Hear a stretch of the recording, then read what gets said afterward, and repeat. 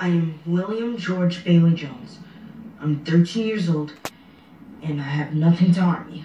That's good, baby. You always have to show the police where your hands are and always say what you're doing before you do it.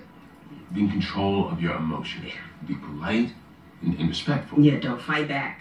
Don't talk back. Do not make any sudden movements. Remember, your only goal is to get home safely. If you get detained, don't sign anything or, write anything. Wait for a parent before you talk.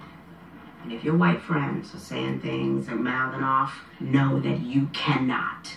You can't go climbing through windows, play with toy guns, throw rocks, and you cannot ever run away from them, no matter how afraid you are. Never, never, never run.